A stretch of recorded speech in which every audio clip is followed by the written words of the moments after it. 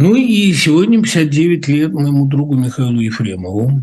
Я абсолютно убежден, что мы многое еще узнаем о той страшной аварии, которую он явно не по своей воле был вовлечен. Я абсолютно уверен, что эта история подстроена, и все больше фактов меня на эту мысль наводит.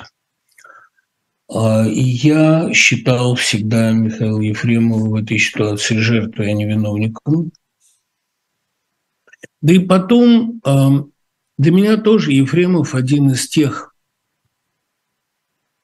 абсолютных образцов, а человек, который, по крайней мере, в профессии не допускает компромиссов ни малейших.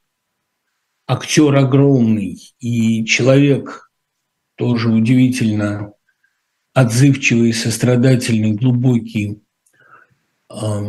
Понимаете, вот этот образ рубахи парня, спартаковского болельщика, чуть ли не алкаша местного, он совершенно не соответствовал реальности.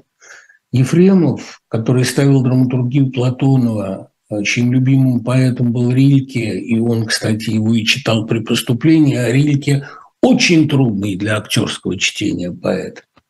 Ефремов, который мечтал, я уверен, поставить еще фильм по зависти Олеши, и который с Кавалеровым всегда себя отождествлял.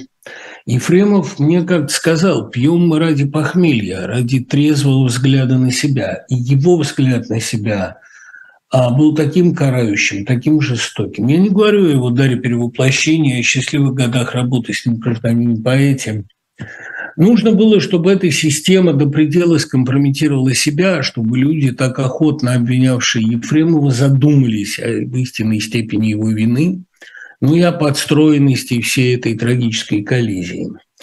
А Ефремов был идеальным сыном, а замечательным мужем и остается им, замечательным отцом своим детям, сильным режиссером и прекрасным театральным педагогом, ну и близким моим другом, человеком, которому я мог о себе сказать все. Э, я уверен, что мы увидимся, увидимся скоро, и уверен, что мы выйдем еще на сцену одну, не один раз.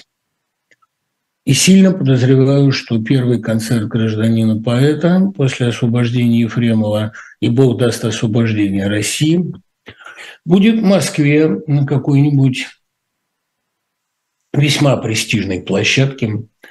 А было бы обидно, если бы он произошел за границей. Хочется, чтобы он произошел где-нибудь а, в так называемом дворце съездов. Я часто шучу на эту тему, но на самом деле я серьезно возлагаю надежды именно на такой вариант Ренессанса.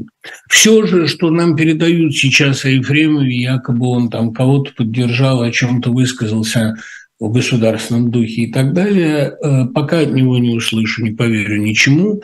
Давайте помнить, что человек, находящийся в российской тюрьме, не имеет никаких прав, никакой защиты и вынужден выживать только за счет своего э, физического и морального ресурса. Я Ефремову горячо желаю скорейшего освобождения, новых блистательных работ и очень люблю этого человека.